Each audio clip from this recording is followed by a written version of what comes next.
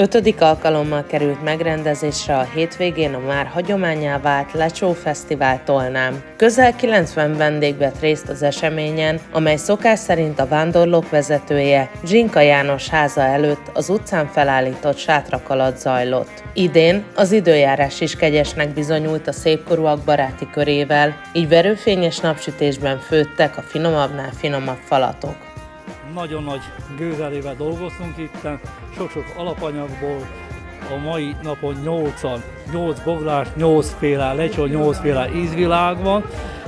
Alapanyagokból annyit, hogy 40 kg paprika volt, 20 kg hagyma, 15 kg paradicsom, sok-sok szalonna, kolbász, füstölt kolbász, lecsó kolbász, tarhogyan minden, minden, nagyon gazdag, Sokféle lecsót csináltunk, én pár pillanat a sógornőm segítségével egy hagyományos, úgymond parasztlecsót csináltunk, alápirítottuk a szalonnát, annak a zsírjával megdinceltük a hagymát, rá a paprikát, a paradicsomot, és a zsírba kiszedett szalonnát visszaraktuk, és a, a füstölt kolbász is beletettük, izgalmas izek voltak. Nyolc bográcsban készültek a lecsók, amelyek között a hagyományos mellett a megszokottól eltérőek is megtalálhatóak voltak. Utóbbiak közé tartozott a csirkemájas, valamint a sertésvelős változat. A baráti kör népes tagjain kívül érkeztek vendégek Kunszent Miklósról,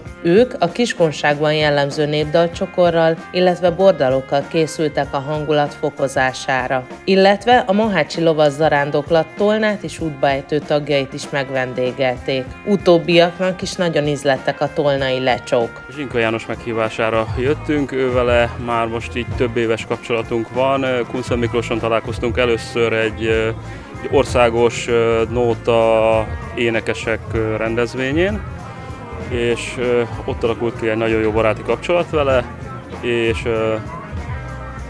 többször kaptam meghívást Szexárra, ahova ugye ők úgy szintén a kis csapatukkal szokottak részt venni, és most egy ilyen egész véletlen folytán történt az, hogy Bócsán összetalálkoztunk egy citerás rendezvényen, ahol ő megkért minket, hogy mint vendégek lépjünk föl az ő kis rendezvényükön, és mostan nagyon nagy szeretettel jöttünk el.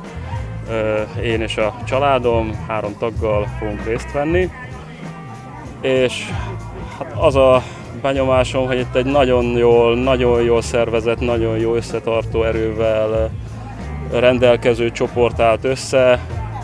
Nagyon szívesen jöttünk el, és, és, és veszünk részt ezen a rendezvényen. A tagok között többen kiemelték, hogy az Egyesület nagyon szoros barátságot ápol egymással, és minden hónapban igyekeznek mindenki számára érdekes programokkal szolgálni, így megfűszerezve egymás mindennapjait. Két éve tartozom a csoporthoz, második alkalommal vagyok itt a Lecsó Fesztiválon. Egy nagyon jó hangulatú társaság.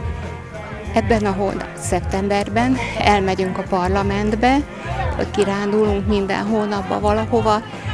Amióta egyedül maradtam, a férjem sajnos több mint két éve elment, és hát befogadott ez a csapat, közéjük, nagyon jól érzem magam velük, nagyon kedvesek, aranyosak, barátságosak, és ez kell nekem, hogy egy kicsit kimozduljak az otthoni mindennapokból. A zsűri végül idén a hagyományos csípős lecsót választotta meg a legfinomabbnak, így övék lett a vándorfakanál. Megvannak már az eredmények. Én megmondom őszintén, nekem a legtradicionálisabb módon készült lecső íz lett a legjobban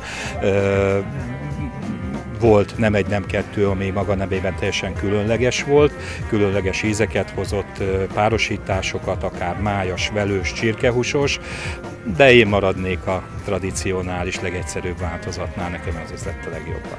Az esemény idén is remek hangulattal zárult. A baráti kör elégedetten, teli gyomorral távozott.